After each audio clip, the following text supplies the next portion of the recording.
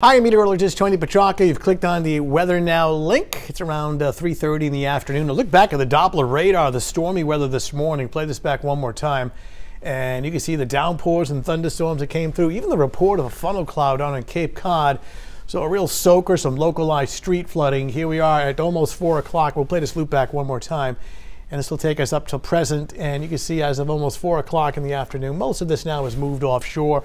We're starting to see some partial clearing, some pretty impressive rainfall totals with those downpours that came through this morning, an inch and a half, almost two inches of rain in some areas.